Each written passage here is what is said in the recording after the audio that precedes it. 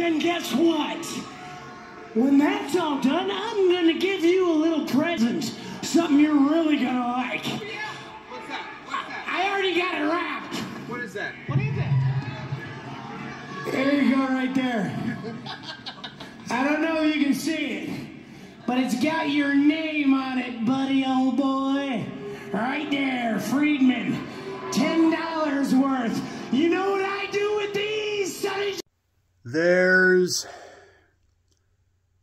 a way to get heat with class, and then there's a way to get heat without class.